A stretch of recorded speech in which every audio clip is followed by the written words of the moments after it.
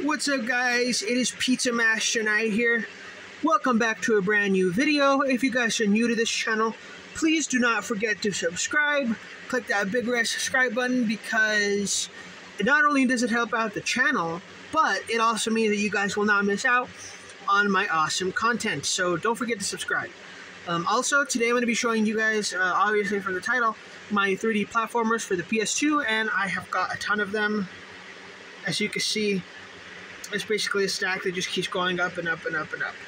But um, today we're going to start with this 3D platform. I'm going to go real quick. We have Jak and Daxter, probably my all-time favorite.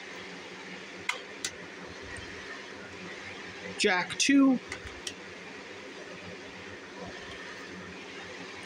Jak 3. Ratchet and Clank. Um, Ratchet and Clank Deadlocked. I don't have the case for it. I think this is a GameStop case. Um, Ratchet and Clank Up Your Arsenal. Ratchet and Clank Size Matters.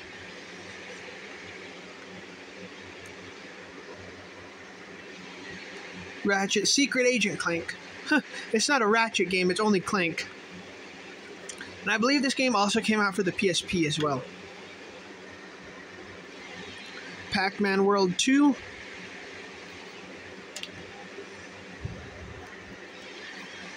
Pac Man World 3.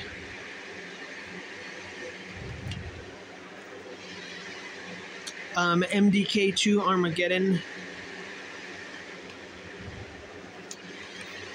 Shrek 2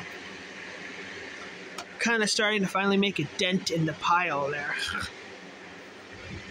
Shrek 3. Oh, that's actually not. I don't know why that's in there. That is not a 3D platforming game.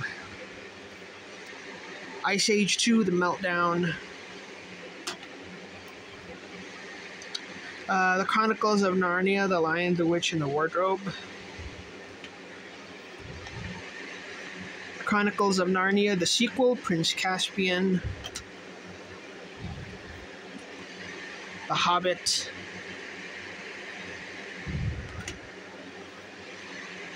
uh, Lemony Snicket's A Series of Unfortunate Events, The Dog Island. Now, this pile is getting abnormally large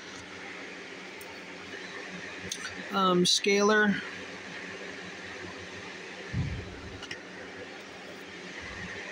Vexx.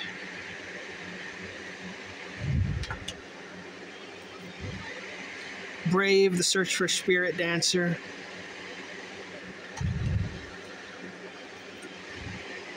Legend of Kay. Dr. Muto. And last but not least, my most recent uh, PS2 game, Rough Trigger, The Vanacore Conspiracy.